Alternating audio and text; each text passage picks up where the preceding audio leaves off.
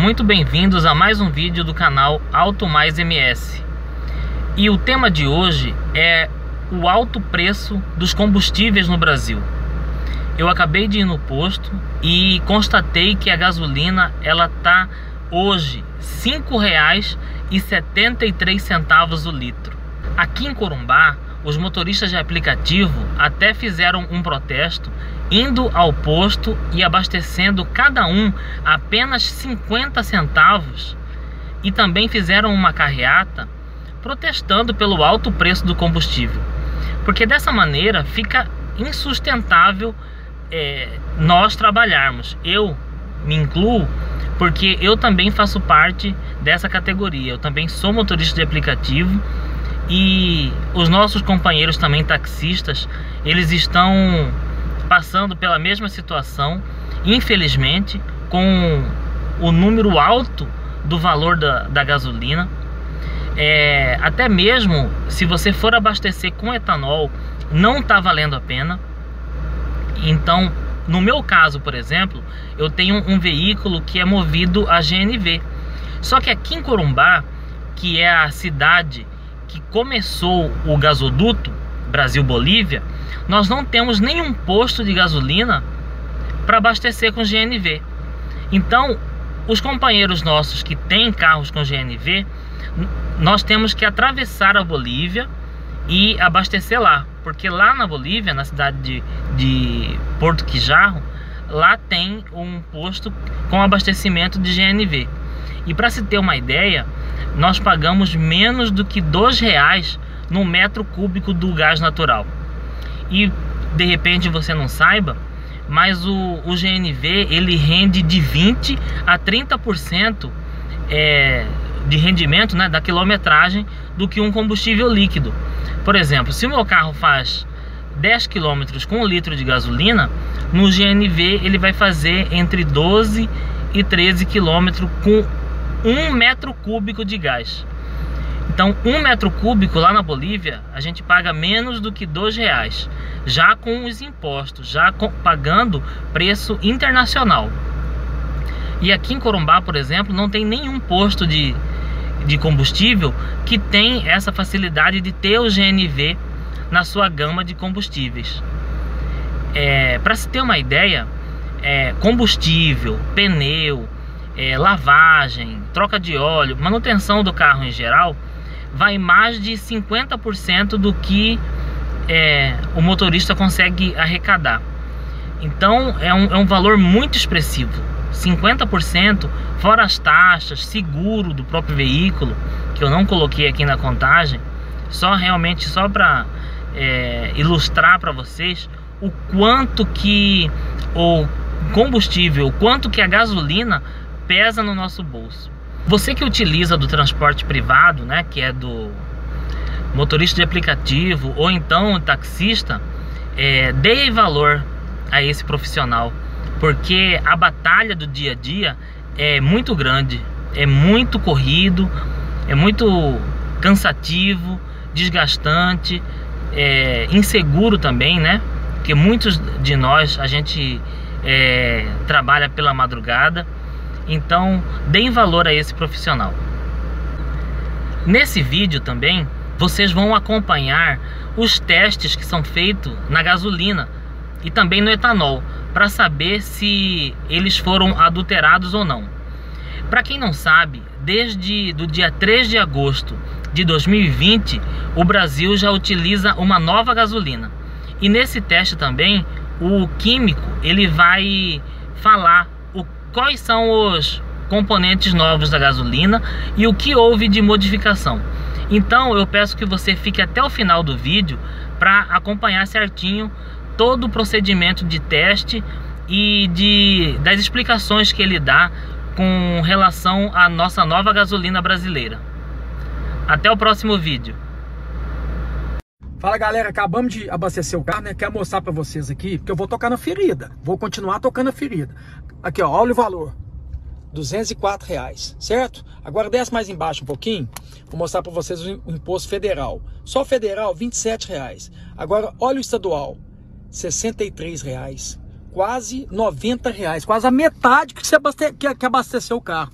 Aí agora, eu vou mostrar para vocês que esses impostos que vocês estão pagando aí, para que que serve? Mostra aí. População brasileira, vem cá, mostrar para vocês aqui, ó. Tá na hora de tocar na ferida. Estão vendo o preço da gasolina? Daqui a pouco a gasolina vai estar sete reais. Tem que ter alguém para gritar para vocês. Agora eu quero mostrar para vocês por que, que a gente paga imposto tão caro. E por isso que chega esse preço aí da gasolina, porque é imposto caro. Mas sabe por que, que o imposto está caro? Não é para poder voltar para a população, né, na educação, na saúde.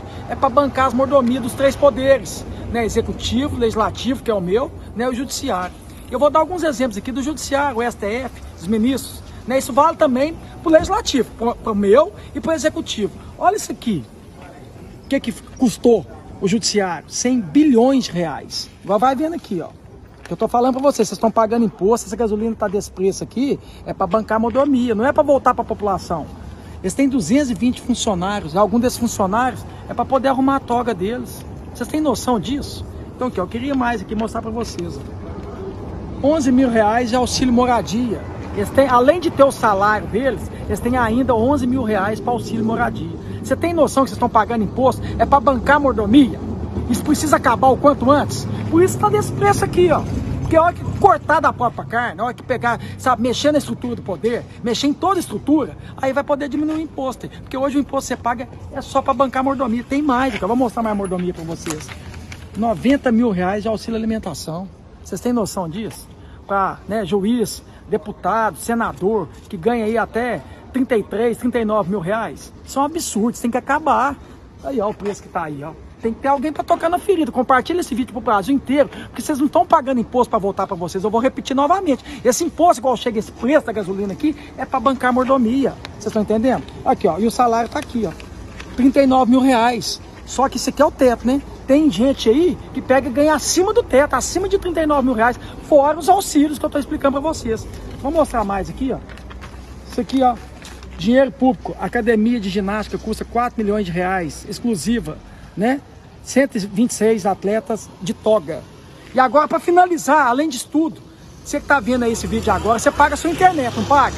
Você não paga a sua internet? Até a internet é você que paga para eles. Então isso precisa acabar, porque senão a gente vai continuar pagando imposto caro, que os impostos são maior caro, os impostos são os mais caros do mundo, para continuar bancando mordomia do judiciário, do legislativo e executivo. Isso precisa acabar. A gente precisa, para sair da crise, mexer na estrutura do poder. Está na hora uma reforma política. Compartilha esse vídeo pro Brasil inteiro. Tamo junto. Boa tarde a todos. Meu nome é Reginaldo, eu sou engenheiro químico e engenheiro do petróleo e perito na área de combustíveis. E hoje nós estamos aqui, eu vou estar mostrando para vocês como é feito o teste detalhado e explicar também sobre a nova gasolina, ok? Aqui nós temos a gasolina comum aditivada, a gasolina comum e aqui o, o, o etanol comum hidratado. A gasolina aditivada e a gasolina comum é a mesma gasolina. Porém, a única diferença é que aqui vai um aditivo, que é um detergente dispersante, onde promove a limpeza e dissolve os resíduos de carbono da gasolina. Portanto, a gasolina aditivada, como o aditivo é diluído, ele só vai trazer benefício para o consumidor a partir do terceiro ou quarto tanque. É um tratamento que tem que ser feito com a gasolina aditivada. A partir do dia 3 de agosto de 2020, estabeleceu-se a nova gasolina, que a classificação exata da gasolina é gasolina S50, tá? S50 significa que a gasolina atualmente ela contém 50 miligramas por quilo de enxofre. Antigamente, até uns dois, três anos atrás, ela vinha com 800 miligramas. Então, com essa redução do teor de enxofre, a gasolina passou a ter uma queima mais completa, com uma taxa de resíduo bem menor, propiciando uma queima mais completa, mais rendimento e menos consumo. Hoje, para poder qualificar uma gasolina, nós medimos aqui a densidade seria o peso da gasolina. E a unidade de densidade é gramas por litro. Portanto, não, tem, não é necessário pegar um litro de gasolina. Pode ser 900 ml, 800 ml, porque o volume ele não altera peso. O que altera peso é a temperatura. Por isso que a gente mede a temperatura, porque a temperatura sim influencia no peso da gasolina. Hoje a gasolina ela tem que ter uma densidade de 715 gramas por litro, tá? Então, se o consumidor tiver com alguma dúvida, querer saber se a gasolina tem solvente, hoje, como é estabelecido pela Agência Nacional do Petróleo, a densidade mínima de 715, então ao pegar o densímetro, que vai de 700 a 750, a leitura sendo feita de cima para baixo e cada tracinho vale 1 grama por litro, na temperatura ambiente nós vamos verificar com precisão que essa gasolina está pesando 737 gramas por litro e o peso mínimo é 715. A densidade é muito importante, porque além de identificar se a gasolina tem algum solvente leve ou não, ele também já dá uma ideia de como que está o rendimento dessa gasolina. Portanto, quanto maior a densidade da gasolina, melhor é o rendimento, menos consumo. E isso também tem uma relação com a octanagem da gasolina, que pela nova metodologia de análise é definido o padrão ROM de octanas, que o ROM ele mede o poder de explosão em, em rotações mais suaves, ou seja, o carro na estrada, o carro numa cidade, numa reta, onde não força. Então, essa metodologia ROM é o que está sendo estabelecido agora a partir do dia 3 de agosto, que tem que ser no mínimo 93. Antes o ROM não era estabelecido na nossa norma. O que era estabelecido era o índice antidetonante, que tinha que ser no mínimo 87 octanas.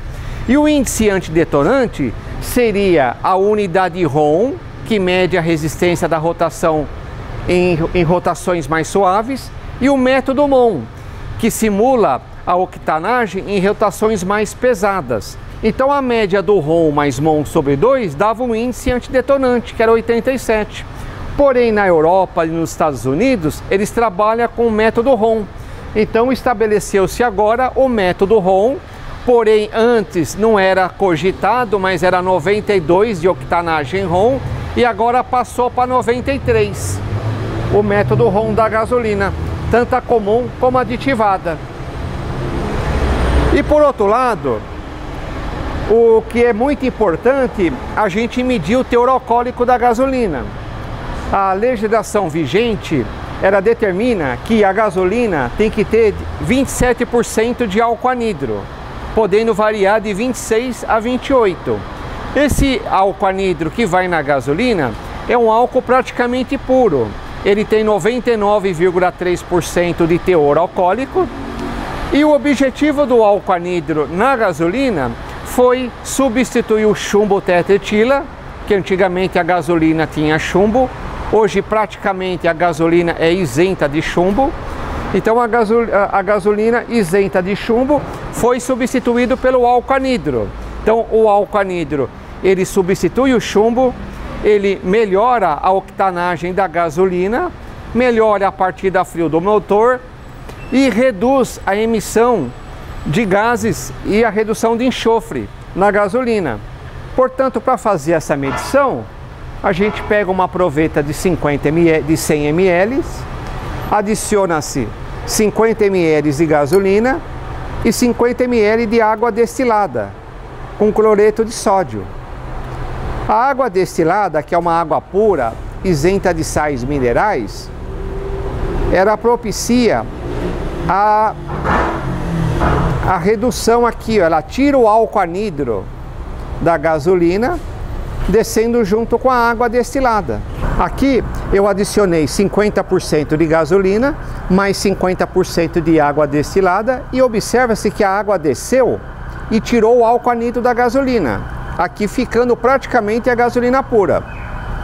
Agora eu vou tampar e vou fazer as inversões de 5 a 10 vezes, que é para a água tirar totalmente o álcool da gasolina. O mesmo procedimento é na gasolina aditivada.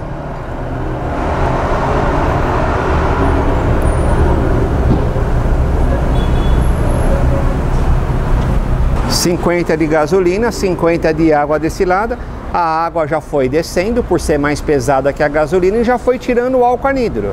Percebe-se que ele não está no 50-50, já subiu. É feito aqui mais umas 5 inversões.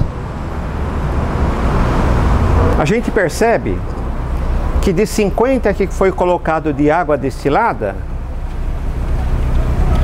ele permaneceu no 63,5.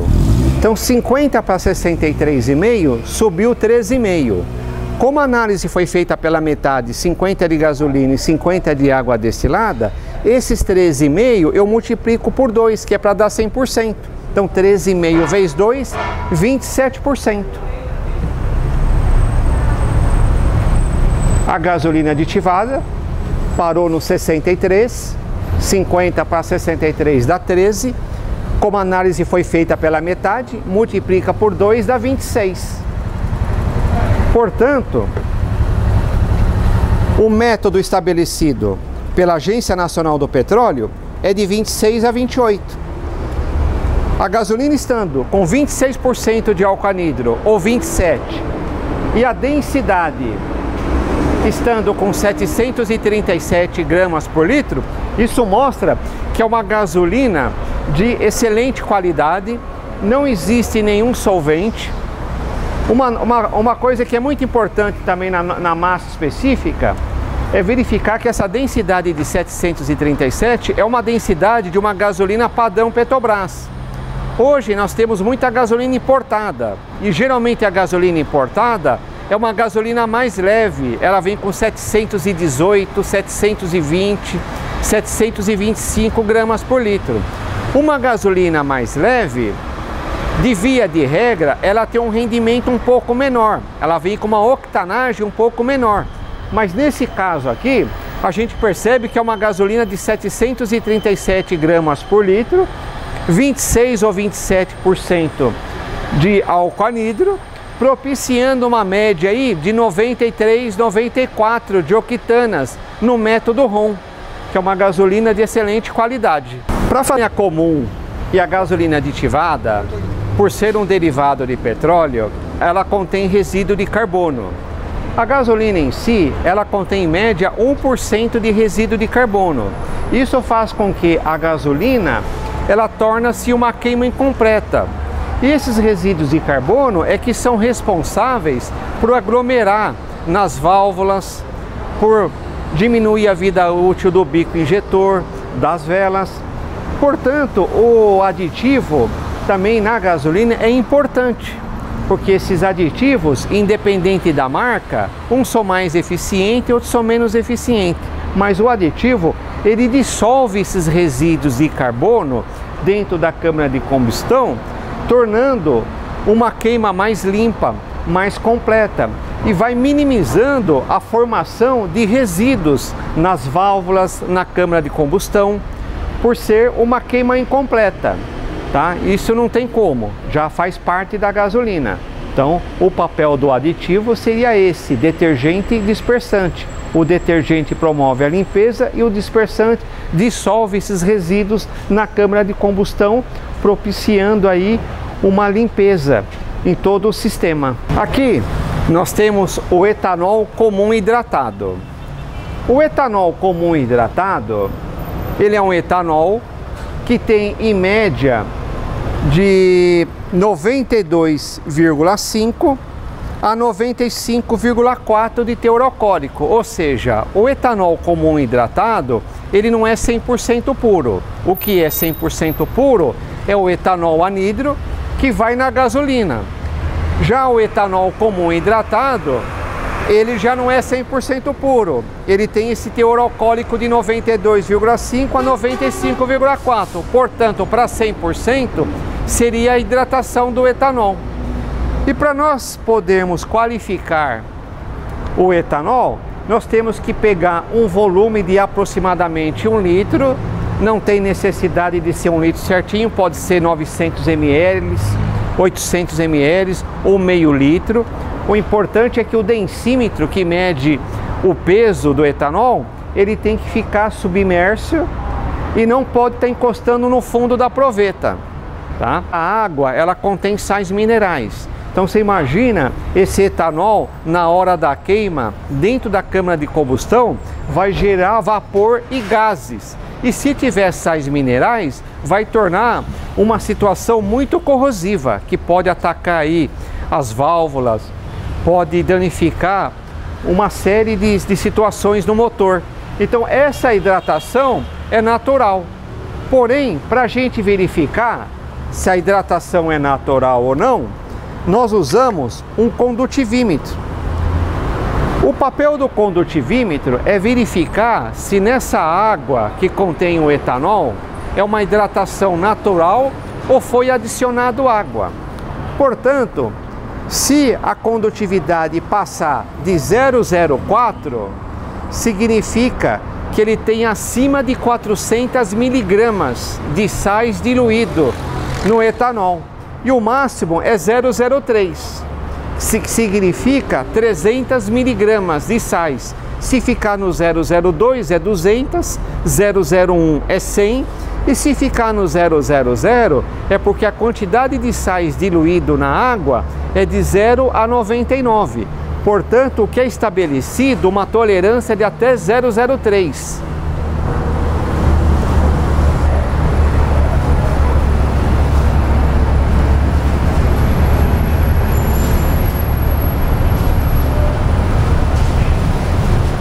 Aqui está me mostrando 000, ou seja, isso dá me dando uma precisão que a hidratação que tem esse etanol é uma hidratação natural. Então não tem sais minerais que pode danificar os componentes do motor e isso mostra também que não tem indícios de metanol, que o metanol também ele conduz corrente elétrica. Então, se tem uma quantidade excessiva de metanol, que é um agente adulterante, ou se a hidratação é uma hidratação que foi adicionado água, o aparelho já ia me acusar acima de 004.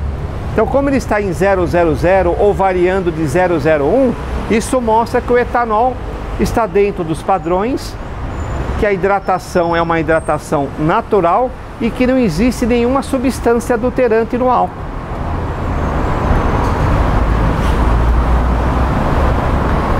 Cabe lembrar também no etanol, por mais que o etanol está com rendimento acima da média, é um etanol dentro dos padrões da Agência Nacional do Petróleo, por ele ser hidratado, a ação de lubrificação dele é zero. Ou seja, o etanol ele não tem ação de lubrificação. Portanto, a médio e longo prazo é comum de ir ressecando, vai ressecando os componentes móveis do motor. E a médio e longo prazo, por ele ser hidratado, é comum criar alguma impureza, algum gel alumina dentro da cama de combustão. Portanto, é muito conveniente usar os aditivos flex, que os aditivos flex, independente da marca, todos funcionam. Uns são mais eficientes, outros são menos eficientes, mas todos funcionam. O aditivo, ele vai propiciar lubrificação no sistema, que o etanol não contém. Então, usando o aditivo, que esses aditivos eles são eficientes até 4 ou 5 tanques, você colocando um tanque de etanol e um aditivo, quando chegar meio tanque, você completa de novo. Você fazendo isso sucessivamente mais 3, 4 vezes, o aditivo vai sendo diluído, mas ele vai estar presente no sistema para dar lubricidade no, no motor, para minimizar o atrito e propiciando mais rendimento e menos consumo. Portanto,